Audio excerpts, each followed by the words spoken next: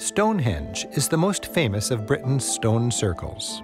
A visit starts at the museum, where you'll see artifacts from the Stone Age people who built it. A 360 degree theater demonstrates how the structure is aligned with the heavens, marking both the longest and the shortest days of the year.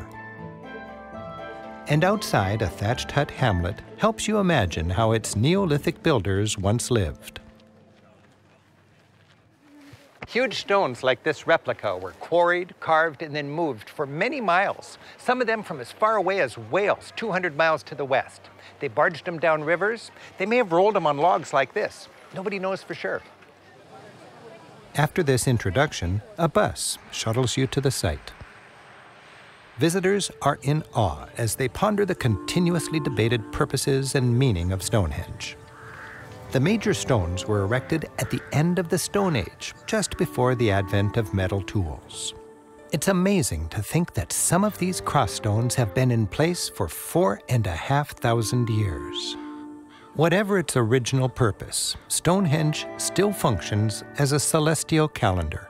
Even in modern times, the sun rises on the longest day of the year in just the right spot, and it retains its powerful sense of wonder over those who gather.